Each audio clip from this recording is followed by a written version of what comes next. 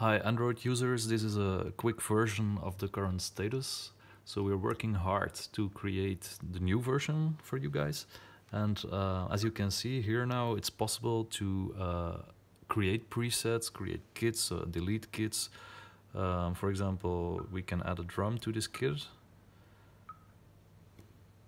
Floor tom, 18 inch, 8 lugs.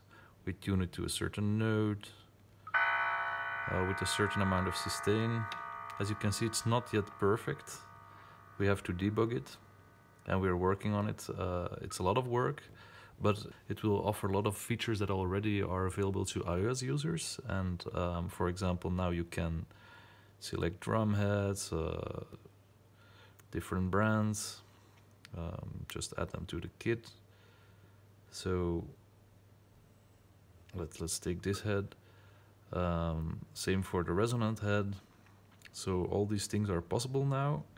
You could download uh, expansion packs. Um, let's see, for Remo it's not yet installed. So if you download the expansion pack for Remo, then uh, you'll get access to the database for Remo as well. You have to be a member to do so. So you have to log in with Facebook or your email address, and then uh, you're a member of the drummer community and you can actually uh, download those packs for free. Okay, a crash. Um, so as you can see, it's under development. We're working on it. Uh, don't worry. Don't feel left alone. We are really on it. Just hang in there. It's gonna come.